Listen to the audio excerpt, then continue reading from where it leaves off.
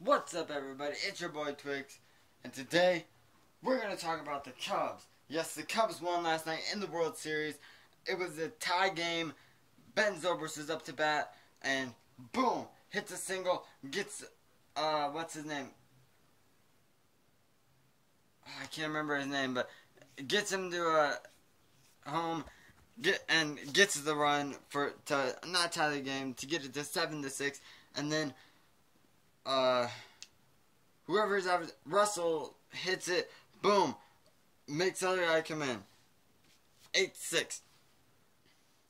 And then, bottom of the 10th, Rajai Davis hits a single to let the other guy score, and but the Cubs aren't done there. They got to pull it up, so yeah.